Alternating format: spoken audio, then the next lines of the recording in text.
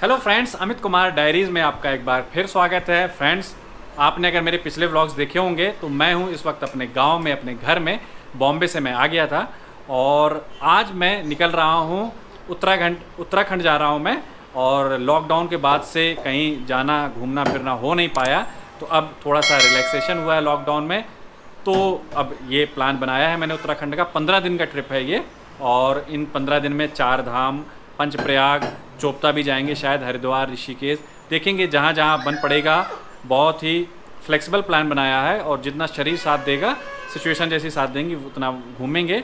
और क्योंकि मुझे ट्रैकिंग वगैरह भी वहाँ बहुत सारी करने का प्लान है, इसलिए मैंने आपको मैं दिखाऊँ कि एक ये छोटा सा बैग लिया है।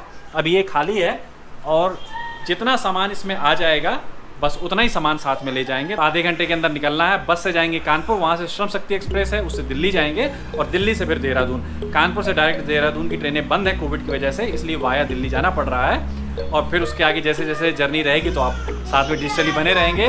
तो बस सामान पैक करते हैं और मिलते हैं।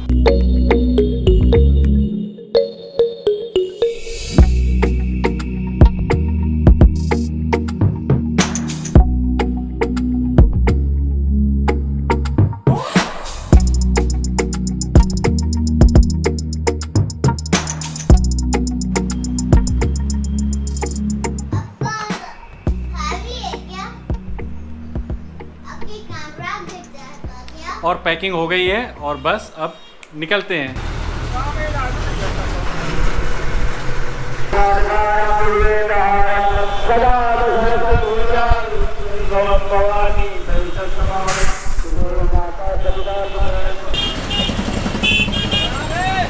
बस ये कानपुर पहुँच गई है। ये मैंने ई रिक्शे में बैठ गया हूँ। शेयरिंग में पाँच रुपये सवारी लेते हैं और ये घंटाघर छोड़ देंगे। और घंटाघर के सामने ही कानपुर स्टेशन है। लेफ़्ट हैंड साइड पर अंदर बस स्टैंड है। झकरगढ़ी बस स्टैंड बोलते हैं। मैं यहाँ पर टाटमी चौराहा में उतर गया हूँ क्योंकि मुझे सीधे जाना है, स्टेशन जाना है। पूरे दिन ऑफ़िस के काम निपटाता रहा और पैकिंग की भी टेंशन थी। तो बहुत भागम भाग रही। बस में बैठते ही नींद आ गई और जब कानपुर बस स्टैंड आया तभी नींद खुली।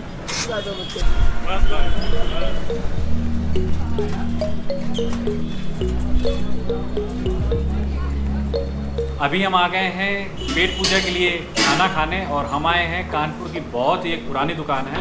कृष्णा पराठा भंडार वहाँ पर आए हैं और ये पराठे मेरे आ गए हैं। इनका बड़ा ही ट्रेडिशनल खाना रहता है। ये आलू और बड़ी की सब्ज़ी, मीठी चटनी, बैंगन का भरता, आलू की सूखी सब्ज़ी और दही और ये चार पराठे। ये चार पराठे साठ रुपए के हैं। पंद्रह बीस साल से मैं खा रहा हूँ और मैंने आठ रुपए या बारह रुपए ऐसे से कुछ खाया था धीरे धीरे अभी ये साठ रुपए के हो गए हैं।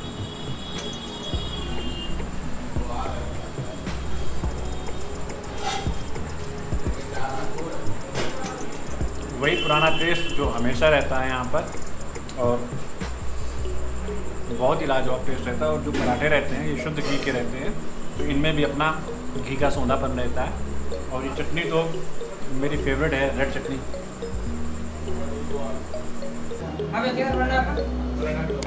सर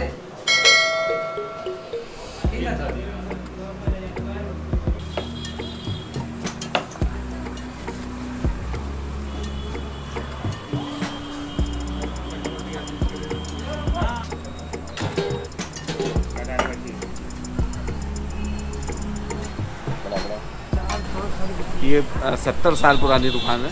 ये हमारे बाबा जी ने शुरू करी थी। हमारे पापा दोपहर में बैठते हैं श्री संतोष कुमार जी गुप्ता हम लोग शाम को। क्या टाइमिंग क्या है? टाइमिंग भैया पराठा वही सुबह साढ़े नौ दस दस बजे के आसपास चालू होता है। और रात में? दस बजे। बस ये क्लोजिंग चलने वाली है आप ही का आप अच्छी सेवा है। पराठे शुद्ध घी में बनाया जाता है। देसी घी का इस्तेमाल होता है हमारे। रिफाइंड वेजिटेबल कुछ नहीं। मतलब मेरे को याद आ रहा है पहले मैं आता था तो ये आलू के पराठे ये सब ऑप्शन नहीं था शायद। हाँ, पहले हाँ, नहीं पहले था। अब ये हम लोगों ने शुरू करा। अब बाबा लोग तो वही छोटे पराठे जो बनते हैं नॉर्मल वाले वही बनते ही थे। अब लोग वैरायटीज मांगते हैं। तो आप जो ये नॉर्मल पराठा सीखते हैं इतना क्रिस्पी आता है तो आप कुछ आटे में मिलाते हैं नहीं। नॉर्मल है? नॉर्मल सिर्फ़ सिकाई का ही सिकाई का ही। कोयले- का कोयले की आँच का फ़र्क कोयले की पुराना देसी है मतलब होता था कि कोयले की आँच में खाना बनता था। अच्छा यहाँ पहले दूध की भट्टी भी लगती थी। हाँ। मैंने पिया हुआ है। हाँ हाँ। मेरे को याद है दूल्हे राजा फ़िल्म रिलीज़ हुई थी और यहाँ पर हीर पैलेस उस समय सबसे बड़ी टॉकीज वही हुआ करती थी।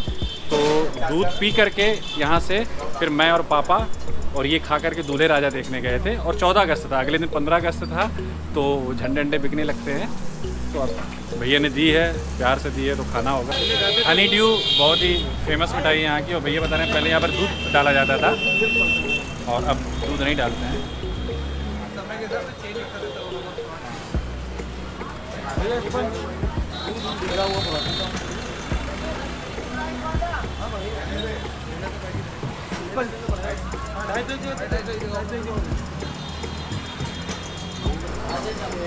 पुराने कस्टमर हम ही है भैया। बहुत गजब का देखो ये नई बातें कर दी तुमने यार। इतनी उम्र तुम्हारी थोड़ी है तुम सबसे पुराने, पचास, सौ साल पुरानी दुकान है। ये कहो कि हाँ पुरानी रेगुलर है। हमारे पापा हमको गोदी में लाते थे यहाँ पे। यहाँ पे भीखा राम के डेली वाले हम डेली वाले नहीं जल्दी मिलेंगे। हम तो डेली खाने वाले थे। शादी नहीं किया क्या? शादी किए थे। ये थे। हाँ। तुम्हें प्रॉब्लम है? तक हो गई तो अब देखा हाँ, कई जगह पहुँच गया। तभी तो डेली वाले मतलब डेली सुन रहे हैं कानपुर की जो हम लोग तो पढ़ के सिग्नेचर है कानपुर का बातचीत का शुरू हो गया है। हम लोग बता देते हैं कि लिफाफे के अंदर क्या है। कानपुर वाला करना बता पाते। पुराने हैं। पुराने हो पुराने नहीं हम जड़ीले या फिर जड़ीले क्या? इसी जगह के रहते हैं। नहीं नहीं जड़ीले क्या? एक्सपीरियंस की बात है। है। उसी राह से निकल पड़े होगे। अभी हम पैदल पैदल जा रहे हैं क्योंकि यहाँ से 300 मीटर ही है कानपुर स्टेशन। तो वहाँ पहुँचते हैं। पहुँचते पहुँचते साढ़े दस बज जाएगा। एक घंटे बाद अपनी ट्रेन है दिल्ली की।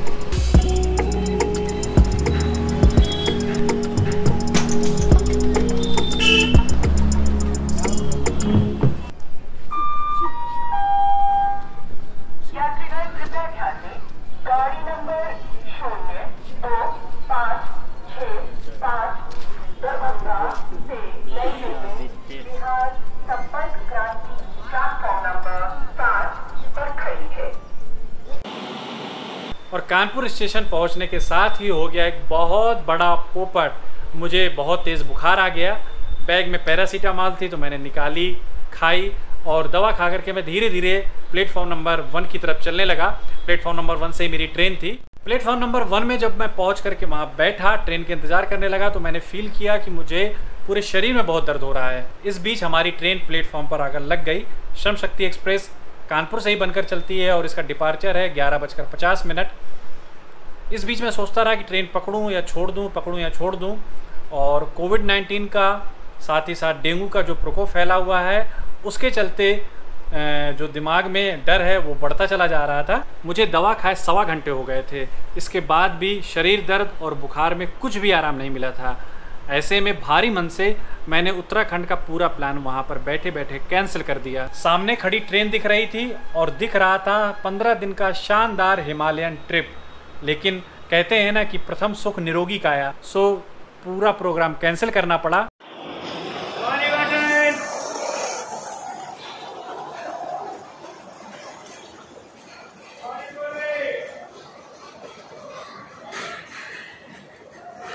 वहाँ से सीधे घर लौट करके आया और अगले दिन मैंने कोविड नाइन्टीन का टेस्ट कराया।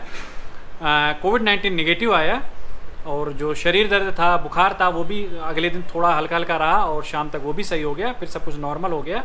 तो इसी तरह मेरा जो ये ट्रिप था उत्तराखंड का, वो स्टार्ट होने के साथ ही धड़ाम हो गया।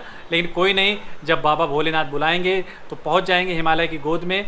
इसी के साथ इस वीडियो को भी यहाँ पर ही ख़त्म करते हैं। उम्मीद है मुझे कि आपको ये वीडियो पसंद आया होगा। अगर वीडियो पसंद आया है तो वीडियो को लाइक शेयर ज़रूर करिएगा। और अगर अब आप नए हैं तो चैनल को सब्सक्राइब करिए। मैं यहाँ पर घुमक्कड़ी की वीडियोस डालता रहता हूँ। और अगर आप ये वीडियो फेसबुक में देख रहे हैं तो फेसबुक में भी मेरे पेज का नाम है अमित कुमार डायरीज़ तो उसे लाइक कर सकते हैं फॉलो कर सकते हैं। उन सब, ये सब करने से होगा ये कि जब भी मैं कोई नया वीडियो अपलोड करूँगा तो उसका नोटिफिकेशन आपको सबसे पहले मिल जाएगा। तो इसी के साथ ही बाय बाय अपना ख्याल रखिएगा।